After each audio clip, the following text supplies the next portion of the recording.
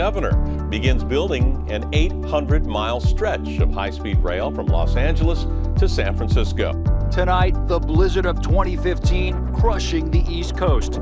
And the top ratings agency has slashed Russia's credit grade to junk status. Shake Shack going public today, and investors just cannot get enough. At least 12 are dead after armed gunmen attacked the offices of a satirical newspaper in Paris. Nestle has pledged to become the first major candy producer to eliminate all artificial colors. World Health Organization has released a new set of guidelines advising people to consume less sugar. Kraft Foods Group and H.J. Heinz Co. announced that the two companies will combine with revenues around $28 billion.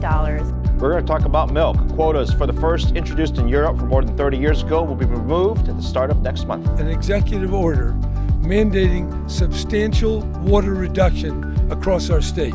Walmart, the world's largest retailer, recently partnered with Wild Oats brand to sell organic foods at non organic prices. Hillary Clinton has just announced that, surprise, she's running for president. PepsiCo's revamped Diet Pepsi without aspartame. The U.S. Department of Agriculture's Economic Research Service says food prices should rise 4% across the board, with meat and dairy prices leading the way deadly earthquake in Nepal. It killed around 4,000 people, and the death toll is still rising.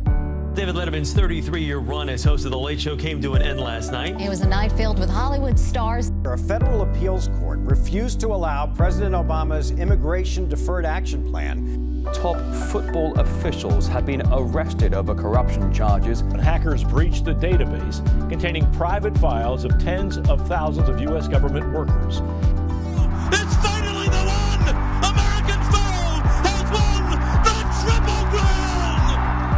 FDA is expected to announce this week that it will ban all artificial trans fats. We need somebody that literally will take this country and make it great again. Brian Williams, anchor and managing editor of Nightly News, has been suspended by NBC management for six months without pay.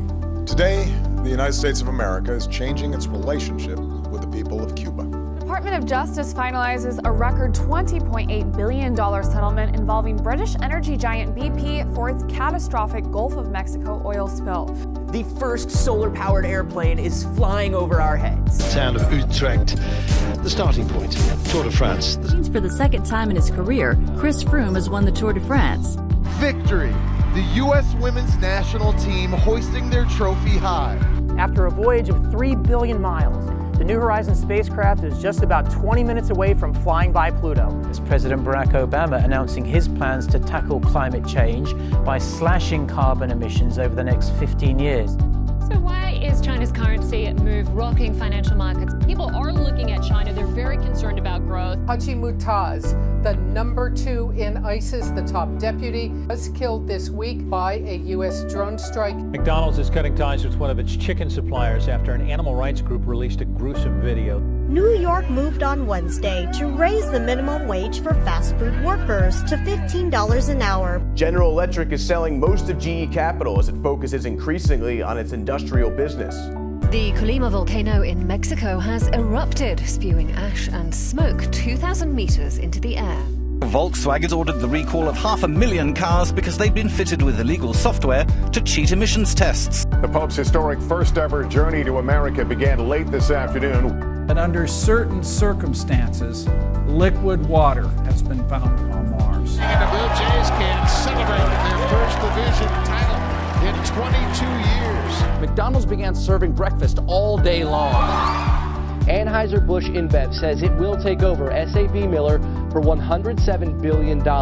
This new report released today by the World Health Organization found that often beloved meats like sausage, bacon, ham, and hot dogs can cause certain types of cancer. Chinese wines are still mainly 99% consumed within China. There's strong demand for Chinese for, for wine in China. Keurig Green Mountain is now hitching its wagon to Fizzy Bubble. The Dutch Safety Board concludes that flight MH17 was downed by a missile. A horrifying night in Paris. At least four attacks. 100 have been found dead inside that concert hall. Keystone XL pipeline would not serve the national interests of the United States. The FDA is just approving the sale of genetically modified salmon, saying there are no, quote, biologically relevant differences in the nutritional profile. One of the priorities for you was to have a cabinet that was gender balanced. Why was that so important to you? Because it's 2015.